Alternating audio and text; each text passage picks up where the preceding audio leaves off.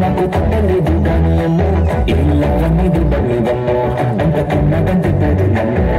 ముందు నుంచి అందరన్న నాది కానీ మళ్ళీ అందన్నానే అన్నో ఏది చెప్పకుండా వచ్చుకున్నో నేను